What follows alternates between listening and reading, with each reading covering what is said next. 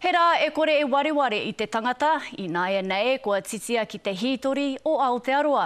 Neke atu i te 30 nā Takirua Takatāpui i whakapūmau i ō rātou whakapiringa i te rangi nei.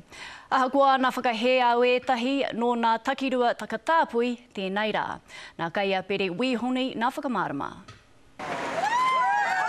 He rā kua roa e wawatatia ana.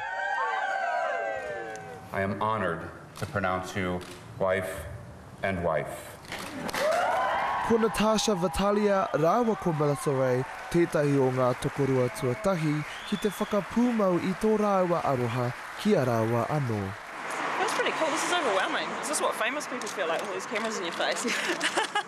He hōnore He kororea, he hare ruia ki a Ihowa o nga mono.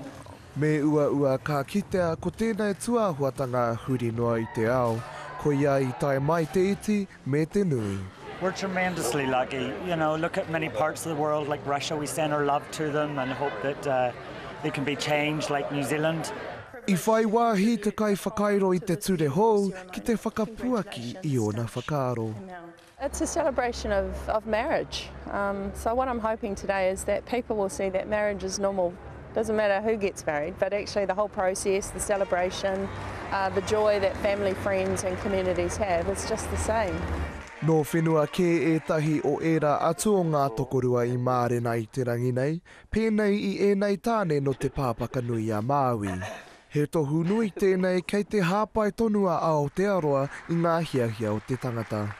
The world has just begun. Today is a new day, today is the start of a new beginning.